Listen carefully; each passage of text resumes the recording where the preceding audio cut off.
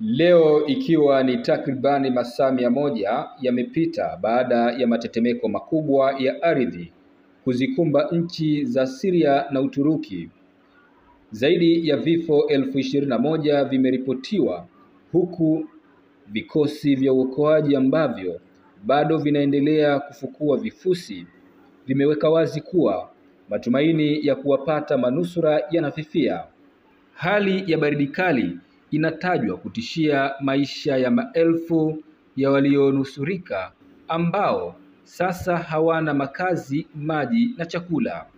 Hapo awali, shirika la afya duniani WHO lilikadiria idadi ya vifo inaweza kufikia elfu ishirini.